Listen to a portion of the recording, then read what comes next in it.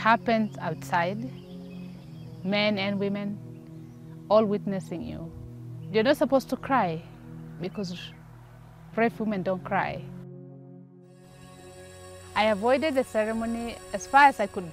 When I knew that it was going to happen, I had to face my dad and say, I will only go through the cutting if he lets me go back to school. If not, I'm going to run away. I knew that once I go through the cutting, I am going to be married off and my dream of becoming a teacher was going to end. It was done in the morning using a very old rusty knife with no anesthesia. I can never forget that day. I wanted my freedom, but when I reached the US, I realized that I needed to help my sisters. Hello, how are you, class? When girls start at our school, they're very shy. But over time, we see them very confident. What is climate? Who knows the answer? It's the most exciting thing. They are doing very well. Fathers are now saying, my daughter could do better than my son.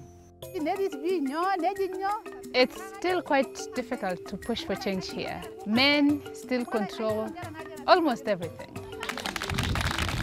She's able to convince people about ideas that she has. She has very powerful words.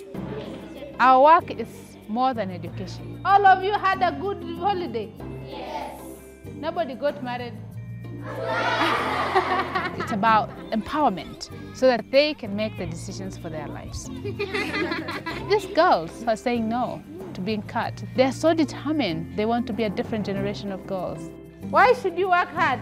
To achieve your goals. Yes. And what are your goals?